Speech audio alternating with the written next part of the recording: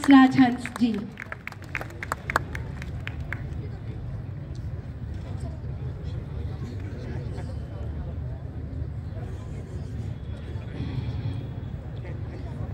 चलो वहाँ तो उस दिन बारिश में जी बिल्कुल बिल्कुल बिल्कुल। So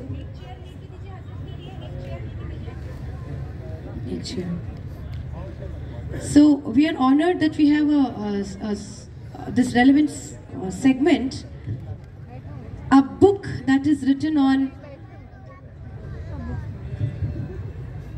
So a book that is written on Khwaja Khwajgan, Fakre Kono Makan, Hazrat Khwaja Moinuddin Chishti Habibullah.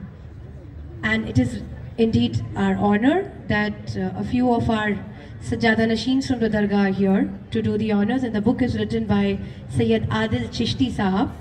May I request you to please come on stage and we'll do a little book launch here.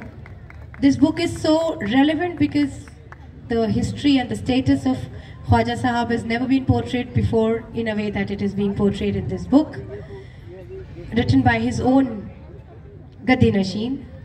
May I also request Sayyid Ayan Chishti to say a few words about the concept of love as seen from Hazrat Khwaja Muinuddin Chishti Sahab and let them do the honors of launching the book, everyone.